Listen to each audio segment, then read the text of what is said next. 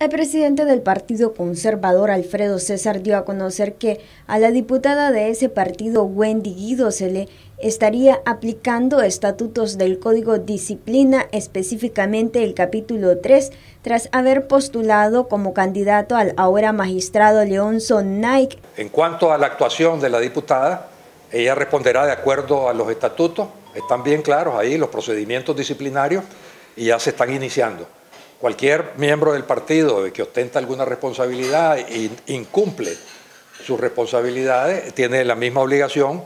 Hay una comisión de ética y disciplina que ya fue convocada, este, cinco miembros del partido ya la activaron y va adelante su curso, eh, va a imponerse. El Partido Conservador es un partido democrático de oposición que se rige por la ley, no por caprichos y la ley son los estatutos internos del Partido Conservador. Pues aquí están los estatutos del Partido Conservador. Hay un capítulo, que es el capítulo, capítulo número 3, que dice régimen disciplinario.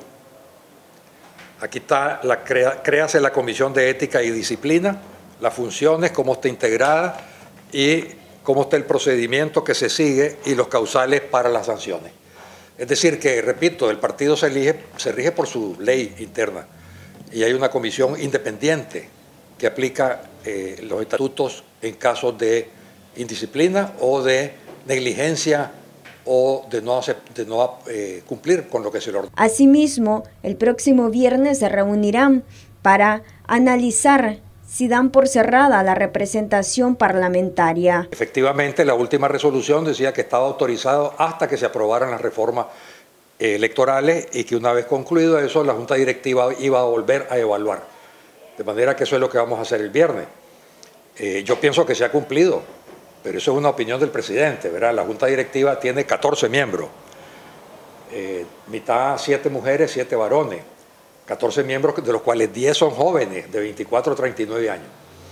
Quiero hacer decir que mi voto vale igual que el de cada uno de los restantes.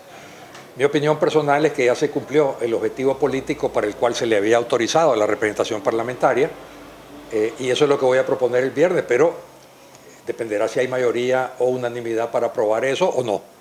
Noticias 12 Darlene Telles.